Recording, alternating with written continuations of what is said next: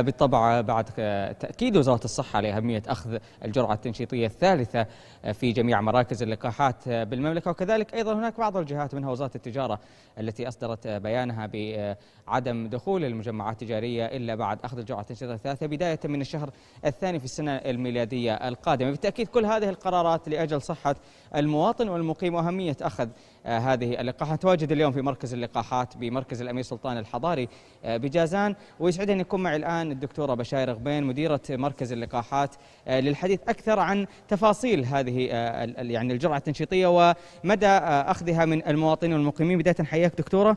وحدثيني بشكل أوسع عن يعني كيف تشوفين أخذ المواطنين والمقيمين للجرعة التنشيطية الثالثة؟ بداية بداية أخذ اللقاح في مركز أمير سلطان الحضاري متزايد وبشكل مستمر.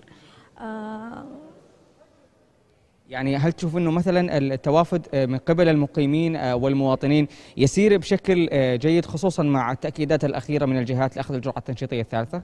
نعم هناك وعي لدى المجتمع لأخذ اللقاح.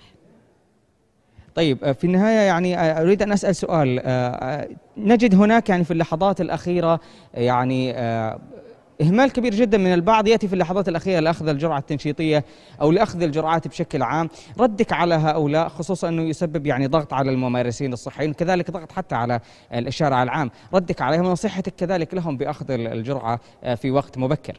أنصح جميع المواطنين والمقيمين بالمبادرة بأخذ اللقاح وقاية من المرض.